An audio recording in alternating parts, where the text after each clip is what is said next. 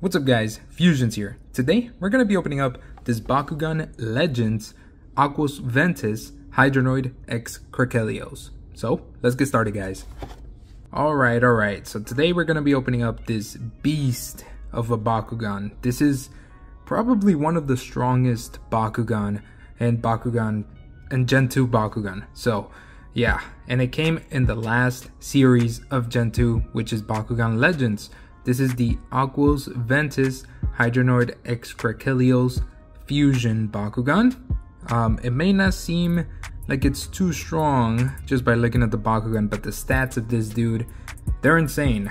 So yeah, let's take a look at the back. Here we have a character card, gate card, and the Bakugan itself right there. Aquos is the main faction, and Ventus is the second faction that it gains when it fuses. Let's open this up. Alright, so this guy has been dominating my Bakugan Seasons format on Discord. If you want to participate, you can join my Discord, link in the description. Um, a lot of people have been playing this guy, and I'm actually thinking of maybe banning this dude just because he's really strong. He's actually really, really strong. You guys are going to be able to see right now. Let's take a look at the Bakugan last. First, let's take a look at what's in here which is the gate card and the uh, character card. No Baku cores in here. So let's see. Let's see what we got. Yeah, this guy is just too strong, man. Really, really strong. Alright, before we actually look at this, I want to let you guys know that if you guys enjoy the videos, make sure to drop a like down below. If you're not subscribed and you enjoy the content, make sure to subscribe. Alright, so let's see. First, the gate card. Let's see what we got. So we got a Fenneca, it looks like. This is Fenneca, right? I think it is. Gate card number 9 with uh, this dude. I think his name is Ajit. Ajit? I, I don't know how to pronounce his name, but this is the character card, the gate card that we get. But here are the stats of this dude.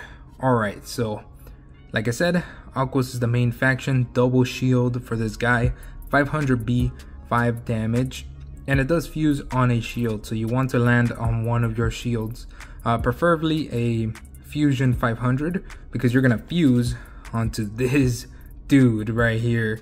A thousand B, 10 damage. So yeah, big, big stats.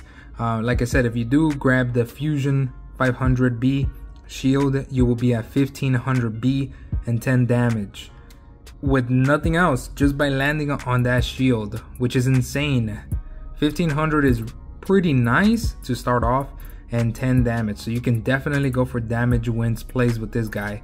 If um, a Bakugan in your team has a Flame Fist, you can reroll and land on a plus 8 fusion Flame Fist and that will put you at 18 uh, damage. And then you can play something like Might of Syndeus which will put you to 19 damage and it's super hard to beat a 19 damage uh, Bakugan for uh, a damage wins play. So yeah, this guy can do a combo which is I mean it's one of the most used combos uh, with Hydranoid Krakelios where you can essentially just super fuel so you can reroll onto a plus 8 damage Flame Fist and then play uh, Might of Syndeus on turn 1 and it's just deadly. 19 damage on turn 1 is just insane.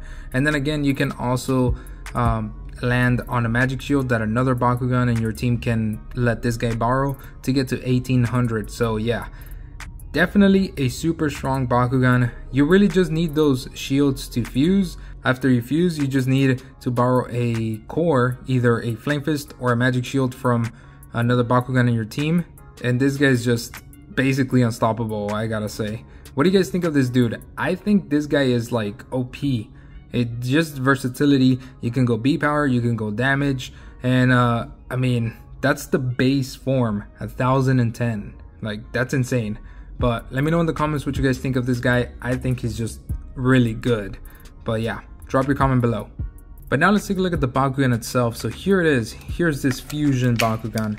We got Hydranoid X Krakelios. So a pretty nice design. Doesn't look too bad.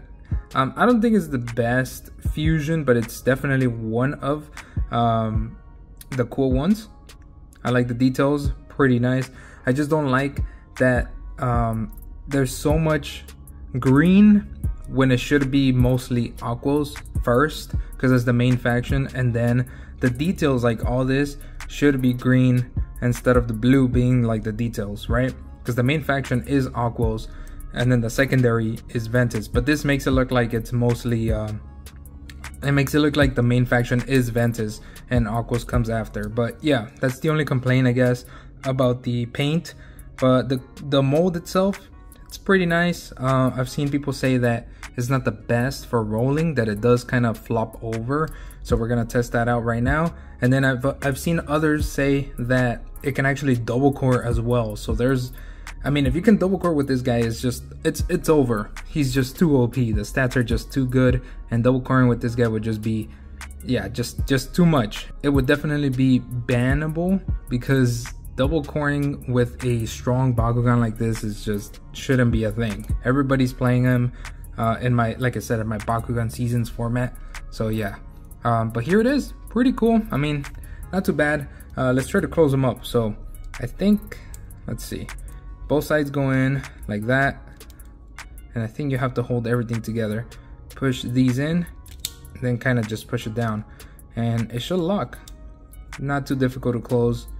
Pretty nice. Okay, how do we roll this though? Does it ha not have an arrow? I don't see it anywhere. It might not. What? Uh, oh, here it is. Is that it? Yep, that's it. Okay, so I got two random cores just to test out uh, the rolling here. Um, let's see if we can maybe double core. I don't think we will, but um, let's just try it out. I just want to see it open first. Let's just do one first Let's try to open them up and then we'll try to double core. Let's see. Three, two, one, brawl. And there he is. So as you as you saw, I put the core right here in the middle, right? And that right there. And it went over and it went to the front. And that's how he can double core. He kind of jumps forward and it can kind of grab the second one. But let's see if it can do it. Let's try to do it again. See if it actually does that. Because like I said, if you can double core with this guy, it's just I mean, just crazy. Okay, let's try it again. Let's see if I can double core with them. You, I'm pretty sure you have to put it somewhere in the edge, but since this is my first time kind of playing around with it, I'm not really gonna mess around too much, but let's see. Three, two, one, brawl. Okay, so that one just went forward, but what it should have done was kind of lean forward, kind of push itself forward, and then maybe double core. It's kind of difficult though. It's not consistent.